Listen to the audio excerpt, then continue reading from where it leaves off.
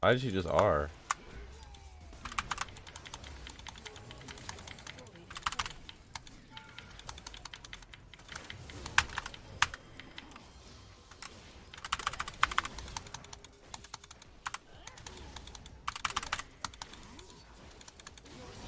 This champ is fucking busting dude.